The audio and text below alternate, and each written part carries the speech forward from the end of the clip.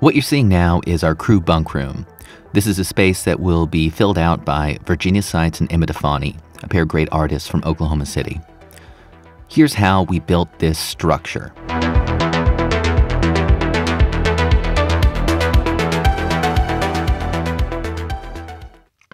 First, we figured out the basic shape for the bunks themselves. I did this working with uh, Virginia and Emma.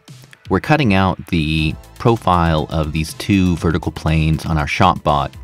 Obviously, the plywood isn't big enough to span the whole space, so here Corey is rounding over edges, smoothing things out a little bit, and then getting ready to use biscuits to align these two pieces that we cut so everything looks like one once it's all painted and finished.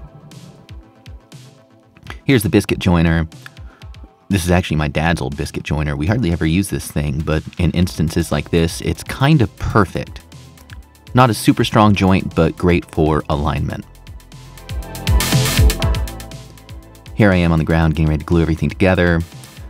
This was kind of a complicated glue up. Tim and I uh, ended up using these pipe clamps and weights just to hold everything together.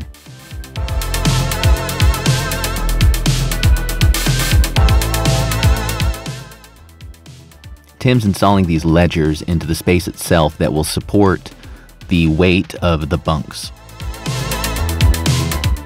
And as Corey adds here, like and subscribe. When we first got them fitted, we knew we would have to cut the profile of the gusset. Instead of designing that in the computer, we just squared it off and then scribed it.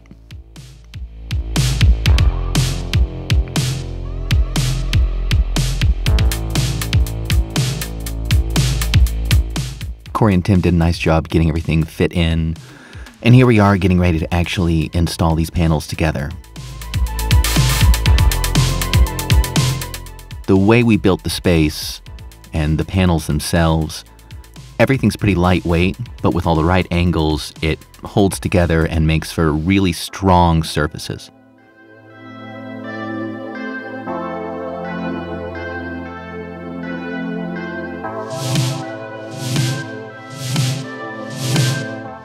Corey and Tim got the, the bunks kind of rough fit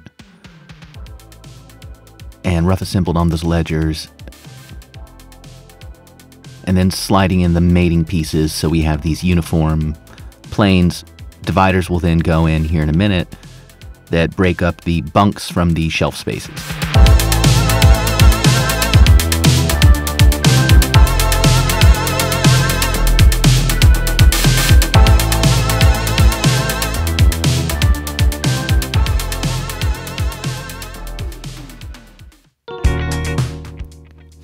All the paint treatment we're doing in here, we're basically treating as primer. Ultimately, Virginia and Emma are going to add a lot of color, but behind everything in the ship, we like to have this kind of battleship gray that gives, when you see things between cracks or as a basic surface, it gives a starting point. This primer is all stuff we've actually mixed up using old paint from other projects it's a good way to reuse things. Here, Tim's making those wall dividers because we really do want the bunks and the shelves to be to be separate, so it does feel like someone's personal space, just really cramped personal space.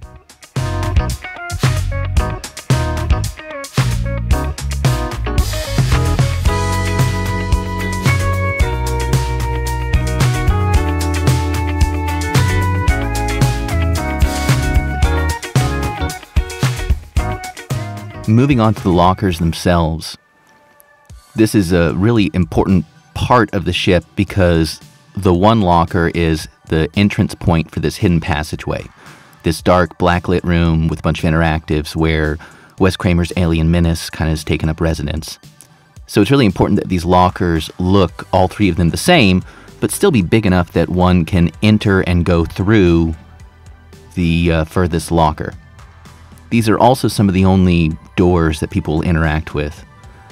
And as we learned in the last time we did an interactive art piece, uh, Sugar High, way back when, anything that someone can open and close is just going to get abused. So we wanted this to be really robust.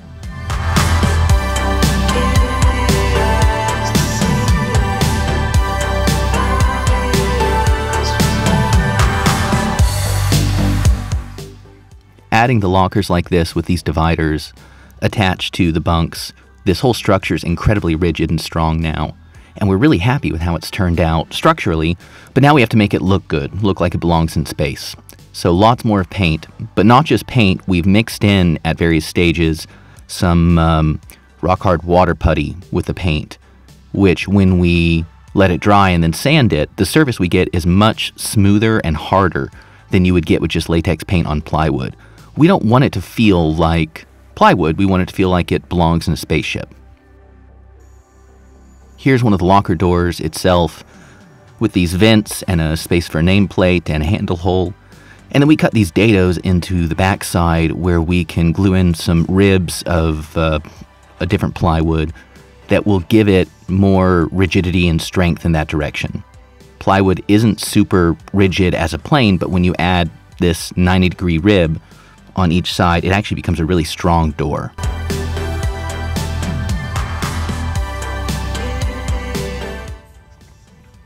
Mouse has been spending a lot of time at the workshop, and when I'm filming, he just gives me this look like, What do you want from me?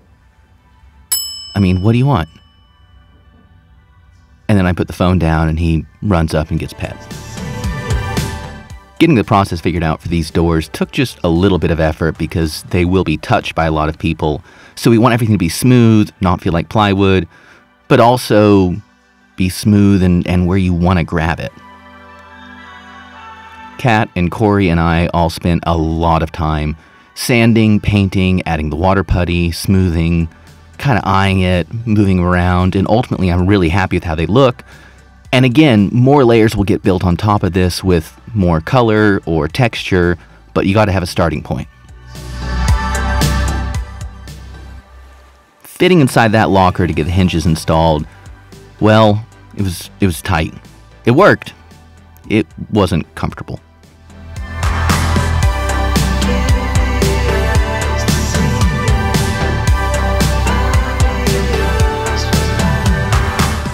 So we're coming right now out of the galley into the crew bunks, and this is gonna look a lot different than you've seen it before.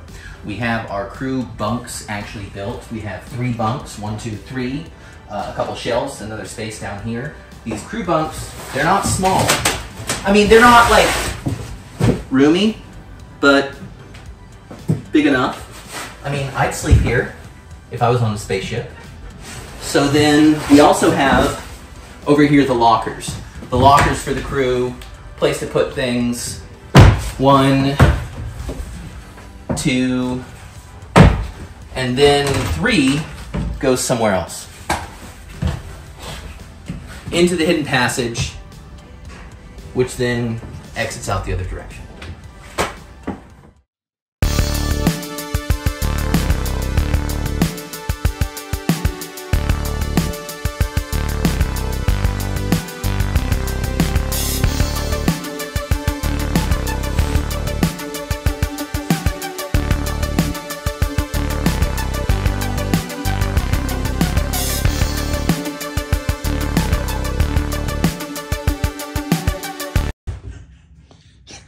Hey guys, say hi, Tim. Hey.